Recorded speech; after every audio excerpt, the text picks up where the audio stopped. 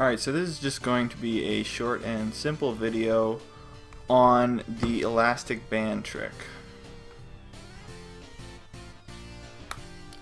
So I'll just take it off for starters here and explain why it's used. So here normally I'm tapping B, I'm making adjustments, and with my left hand I'm also holding the Z trigger. That's uh, pretty standard for wave race running I have to exert just a little bit of pressure to keep this Z trigger held. If you take your controller and a decently sized elastic, make sure it's somewhat thick.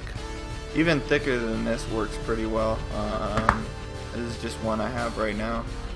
And wrap around the trigger in the back. Wrap it over the controller and twist it around like that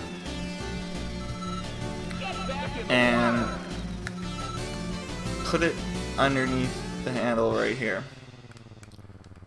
As somewhat of a very tactile person, I found this kind of a distraction at first, but it's less of a distraction than holding the Z button. Now, um, it's actually a button, not technically a trigger.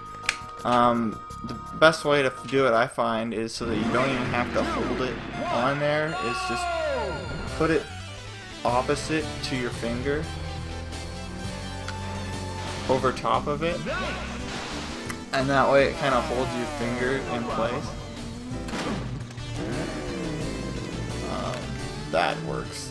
So if it holds your finger in place then um, you ever do have to let go of the trigger you technically can but also it kind of holds your hand in place so you don't even have to hold the controller at all. It just kind of sits in your hand and then you can way more comfortably just uh, move on, move the stick with not real, not really much effort at all. Uh, this is going to be it for this video. Uh, thank you guys for watching. Take care, and I will see you in further tutorials.